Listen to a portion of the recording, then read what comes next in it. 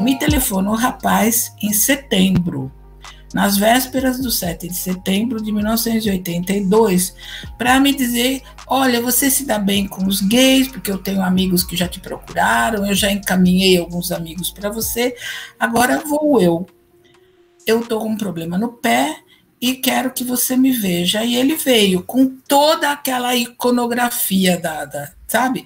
Cabelo, uh, roupa, aquela leather de punho, uh, couro, tudo típico de gay nova-iorquino. Aí ele me disse: Eu tenho um problema no pé que parece a bolha assassina, retira, ela volta. Eu tinha uma maquininha tira-teima, dessas assim, Kodak, que você nem imagina como era. Ela era uma coisa assim de comprar no. no na, hoje compraria numa banca de jornal de porcarias, né? E eu tirei a foto com aquela máquina. Foi o que conseguiu demonstrar que esse rapaz tinha a doença que estava surgindo nos Estados Unidos. Uma única lesão podia dar a dimensão do que acontecia no corpo inteiro do indivíduo. Aquela lesão retirada pelo colega do consultório, que era cirurgião, foi parar no no, no exame histopatológico e o, e o exame deu sarcoma de Kaposi.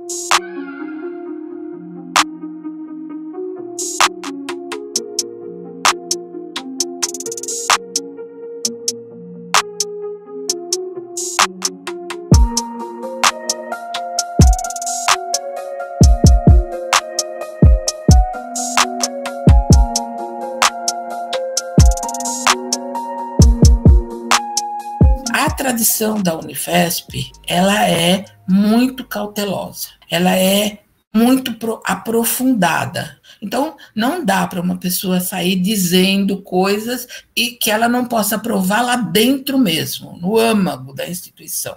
O avanço, até de, dos últimos 30 anos em relação a isso, foi muito grande. Você consegue hoje, e amanhã, principalmente, com uma pílula de uma vez por semana.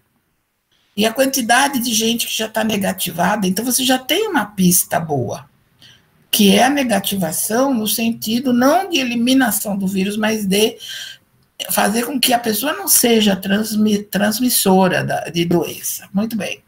Então, se ele conseguiu em um, em dois, ou seja, quantos pacientes, você tem que apoiar. Qual é o problema? É ser brasileiro? É ser de terceiro mundo? Se for esse o problema, a gente pode conversar. Eu até posso dizer que os Estados Unidos, no CDC, demorou dois anos para reconhecer que tuberculose era um sinal de AIDS. Enquanto isso, quantas pessoas morreram porque eles diziam que não tinha nada a ver? Ninguém, ninguém se interessou em reconhecer os sinais em tuberculoso que aparecia nos Estados Unidos, como se os Estados Unidos não tivesse tuberculoso. Claro que não tem. Se você for no sorro, não deve ter. Então, deve existir bolsões de miséria que têm tuberculose, mas isso não fazia parte do interesse imediato deles. Como é que é essa questão? Você entende? Da hegemonia. Ela é, ela é delicada. Ela é muito delicada, a questão da hegemonia, não ouvir os outros, não ouvir os outros países. Quando nós mandamos os dois primeiros casos de, de AIDS para serem publicados no New England, com todas as seguranças possíveis, tudo acertadinho e tudo, eles nos devolveram dizendo que não acreditavam. Existe razão para o, a hegemonia. O que não pode acontecer é tirar do outro a possibilidade de ser. Seja um indivíduo, seja uma nação.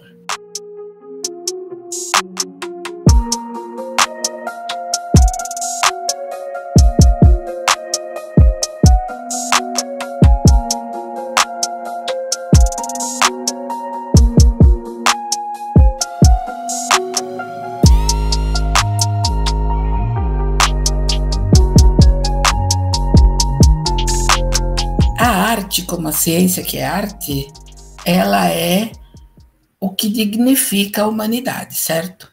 Que a diferença entre um humano e um não humano é a capacidade de elaboração e tornar essa elaboração transcendental. Ela é acima da simples execução de um trabalho, ela é transcendente. E eu acho, então, que o que pode fazer pela humanidade um indivíduo, um grupo de indivíduos ou pensamentos que levem à eliminação de um agravo grande da natureza para os humanos, já é algo que não tem dimensão assim, não é mensurável. Claro que você pode ser, nesses casos, auxiliado pelos valores, valores que são valores monetários, valores que podem uh, privilegiar grupos de trabalho, porque é necessário que exista substrato para execução. Então, nós podemos considerar que esses grupos, se bem subvencionados e bem uh, compreendidos na questão uh, de política pública, tudo mais, é, eles se saem melhor ainda. Então, o que eu posso te dizer é que a universidade pública é a única que pode fornecer isso, porque as outras têm que se autossustentar, e elas se autossustentam às custas de muito dinheiro.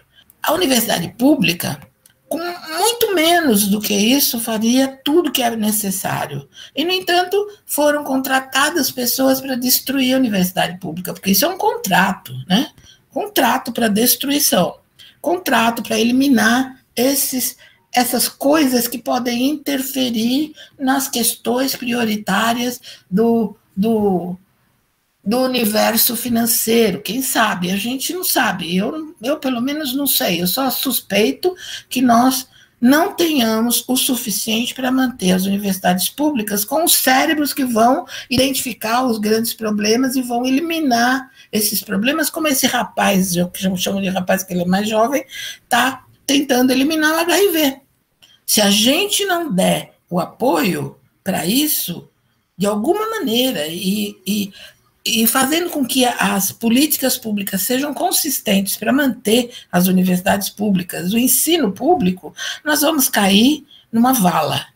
E nessa vala nós vamos ter só a continuidade de um processo de destruição que resulta na não contenção das epidemias, a não contenção das grandes, dos grandes agravos da humanidade. Agora, quem que vai aquilatar isso? Não são as pessoas que simplesmente chegam e querem destruir a universidade. Essas pessoas não têm dimensão. Se elas tiverem a dimensão, elas já foram, elas já foram convencidas a não ter.